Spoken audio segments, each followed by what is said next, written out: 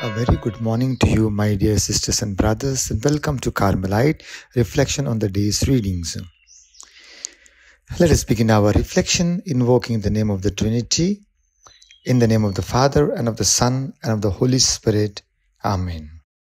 Dear friends, today is the 3rd of March, and we are celebrating the third Sunday of Lent. And for the Gospel reflection, we have the famous episode of cleansing the temple from John chapter 2, verses 13 to 25. Let us then meditatively and reflectively listen to the Gospel reading. A reading from the Holy Gospel according to John. The Passover of the Jews was at hand, and Jesus went up to Jerusalem. In the temple, he found those who were selling oxen and sheep and pigeons, and the money changers sitting there. And making a whip up cords, he drove them all out of temple with the sheep and oxen. And he poured out the coins of the money changers and overturned their tables. And he told those who sold the pigeons, Take these things away. Do not make my father's house a house of trade. His disciples remembered that it was written, Zeal for your house will consume me. So the Jews said to him, What sign do you show us for doing these things? Jesus answered them, Destroy this temple, and in three days I will raise it up. The Jews then said, It has taken 46 years to build this temple, and will you raise it up in three days? But he was speaking about the temple of his body. When therefore he was raised from the dead, his disciples remembered that he had said this, and they believed the scripture and the word that Jesus had spoken. Now, when he was in Jerusalem at the Passover feast, many believed in his name when they saw the signs that he was doing. But Jesus, on his part, did not entrust himself to them, because he knew all people and needed no one to bear witness about man, for he himself knew what was in man.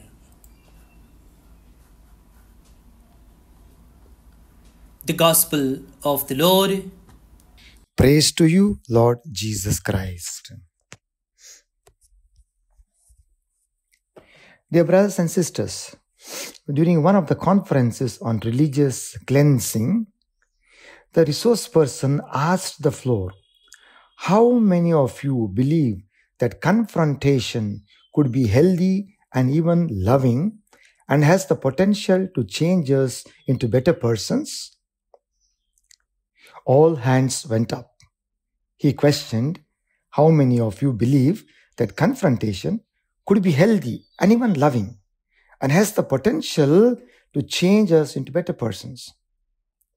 So everybody raised their hands. And then the resource person continued with the second question How many of you would like to be confronted this way? Then no hands were to be seen all hands came down. Well, we are invited to be confronted by Jesus today. A confrontation that can bring, that is healthy, loving, and that can bring a potential change in our lives. Now, this is a confrontation. What could be understood as a religious cleansing? Recently, there has been a wave of every possible physical cleansing. There is a juice cleanse a liver cleanse, a colon cleanse, and countless ways to clear our bodies from impurities. We have something called physical detox, which includes distilled water with lemon. It also includes stretching, I mean, yoga, intelligent breathing, eating organic stuff, plant based diet, intermittent fasting, sufficient rest, enough exercise and sweat. And we are all serious about it because we don't want to accumulate impurities in our bodies. Rather, we want to flush them out. Jesus today is reminding us of a cleansing of the soul. Jesus is heading towards Jerusalem at the time when people would be normally cleaning up their homes and their lives. They would be doing their best to get rid of an, any type of physical or spiritual leaven that would be considered unclean or unholy. They were to use this time to wisely prepare themselves to fully celebrate the great Passover. This sets the backdrop of what Jesus is about to do and declare. He is going to rid the house of God from sin in preparation for the Passover. Now, the scale of activities that is at hand in Jerusalem, especially in and around the temple, is hard to imagine. Some estimate that the permanent population of Jerusalem at that time might have been around about 80,000 people. But during the Passover festival, there were around 300 to 500,000 who came from all the surrounding regions.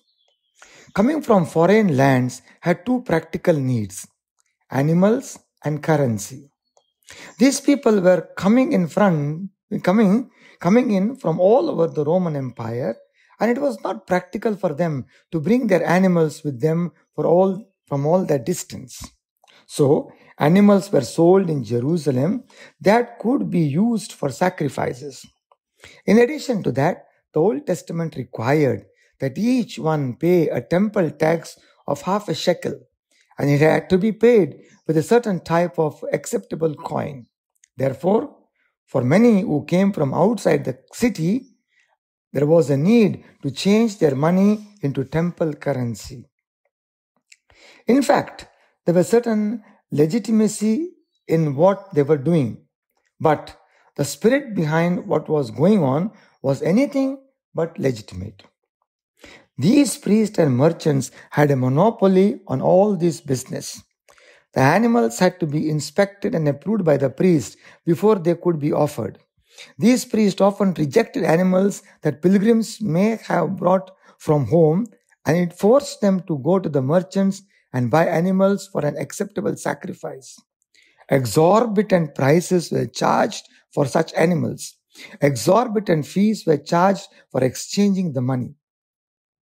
Well, the temple took on almost an appearance of a fun fair or amusement center. In our language today, carnival atmosphere. The temple area was filled with advertising vendors and stinky display bars, barns, and all of this infringed and overtook the very purpose of prayer and spiritual devotion. Now, how could Jesus, who considered temple as his father's house, a house of prayer, just remain silent and overlook such abominable and disgraceful gestures? He immediately turns violent, but for a good and noble cause.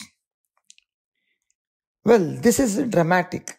At the height of activity that is taking place in the temple and crowds moving up and down, Jesus physically used force to clear away animals, to turn the tables of money exchange that sent money flying and turned the tables of the religious leaders who were in authority over it all.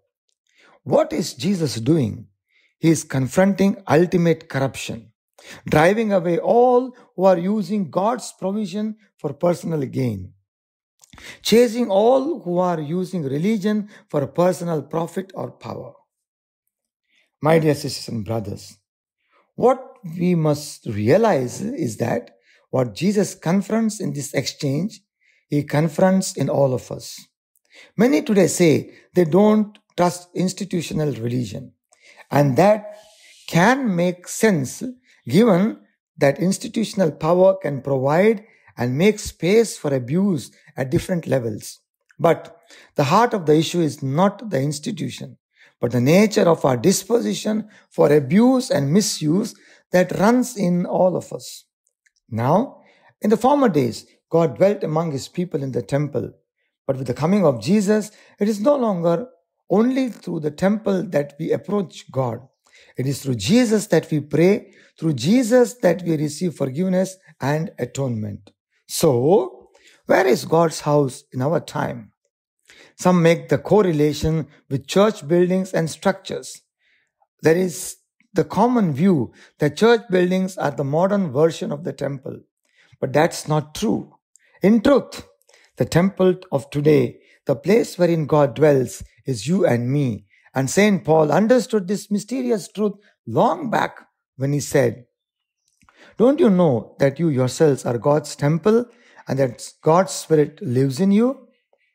The passion that Jesus had for the temple that day, he has that same passion for all of us and every day. Brothers and sisters, we recently began what is traditionally being known as the Lenten season. The corruption which Jesus encounters in the gospel today becomes an opportunity for us to consider the ways in which our own self serving desires can compete with the works of God. Some may consider this situation and think it is only an indication meant for those who might set up shops in the church. But there are many ways in which we may bring our self serving desires to compete with the glory of God. When we come to the temple and worship only what we like, we are in a wrong place and the temple is serving a wrong purpose and the temple has lost its purpose. Well, friends, there are a couple of lessons that we can learn from the temple cleansing episode. First, always pray and praise. What I mean is, we should pray and praise when we are in the house of the Lord. We should pray and praise every day in our lives, no matter where we are. The Lord has promised to never leave us nor forsake us. He is our helper through, through all of our life's trials. We pray and He answers with wisdom and peace. Let us come boldly to His throne of grace where we receive His mercy when we need it most. Secondly, people before money. We should always remember, friends, that people come before money. Helping the hurting people who are praying for help means much more than making money. Donations to churches are important to keep them running, and they are and they need to be need to run in order to equip believers to live rightly. However, these efforts shouldn't be put above helping people. When we seek to love our neighbors, it keeps us from committing sin. When we don't love our neighbors, we become jealous, angry, or bitter, and therefore capable of committing even the most horrendous sins. Love really does cover a multitude of sins, said St. Paul. The most important commandments have love at their base. Love God wholeheartedly and love your neighbor. The third lesson the real temple is you. Remember that Jesus is much bigger than any building on this earth. His agenda goes forward when his believers walk in his ways, praise, thank him, and reach out to help their neighbors. When we accepted Jesus' way of salvation, he deposited his spirit within our hearts. So let's live differently. Let's live for the Lord. Just like Jesus didn't like the corruption of greedy money exchangers in his temple, he also doesn't like it when we allow the pollution of this world get into us. Self-care has become a buzzword of late. However, if we place too many emphasis on ourselves, it's not a good sign. Let us take care of the temple of our body that houses the Holy Spirit. Let us protect our body, mind, and spirit and make them always healthy. And the fourth one, God's righteous anger. The last lesson from Jesus cleansing the temple is that God has righteous anger. When people continue to do what is evil in the Lord's sight, his anger is provoked and eventually he steps in. God holds back from showing his anger because of his loving mercy and kindness and forgiveness. He is compassionate and gracious, slow to anger and abounding in mercy, as he waits for people to stop their rebellious nature and come to him for pardon and mercy. He doesn't want anyone to perish, but he won't wait forever.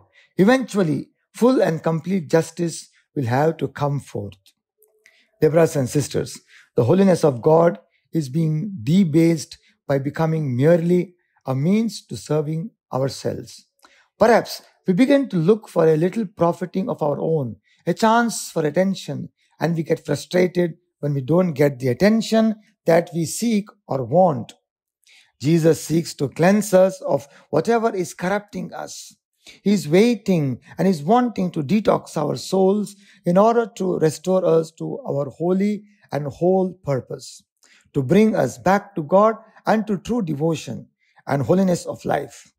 Let us then welcome and accept this initiative so that we are able to experience the real glory of God and the power of His resurrection on Easter Sunday. Let's wind up our reflection with a short prayer. Lord, you teach us that we can really worship you only in spirit and in truth. Amen. The psalmist realizes the value of God's law and precepts. The commandments are meant to provide life for those who follow them.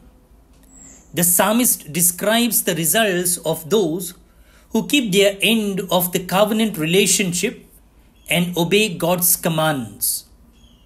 Refreshed souls, wisdom for the simple, rejoicing hearts, and enlightened eyes. Doing the will of God is more precious than gold and sweeter than honey. Let's pray that psalm now.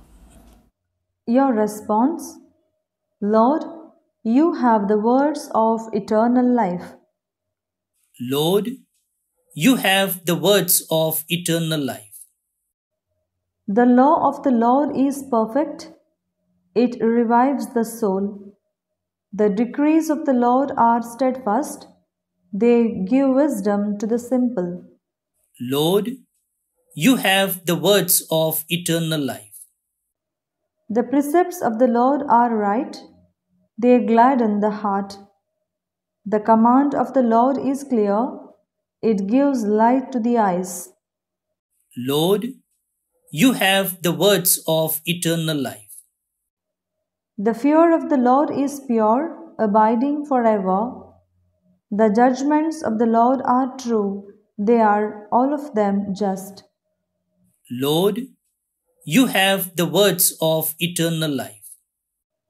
They are more to be desired than gold, than quantities of gold, and sweeter are they than honey, than honey flowing from the comb. Lord, you have the words of eternal life. Glory be to the Father, and to the Son, and to the Holy Spirit as it was in the beginning, is now, and ever shall be, world without end. Amen. Pray for God's blessing now. May Almighty God bless you, the Father and the Son and the Holy Spirit. Amen. We thank Reverend Father Ratan Almeida for sharing his reflection with us today. And we remember Leo Matthias from Andheri, Mumbai, Lolita Matthias from Andheri, UK, Nisha D'Souza from Malad, Mumbai, Theo Brethan D'Souza from Permanur, Mangalore, Santosh Rebello from Kulshekar, Mangalore, are celebrating their birthdays. Wish you all a happy birthday. God bless you. And we pray for the departed soul of Bella Fernandez from Mumbai, Nancy Moses from Sharjah, Valerian Rodriguez from Bengaluru. May the Lord grant them eternal rest. That's all for today, my dear friends. Have a great day. See you tomorrow. Bye bye.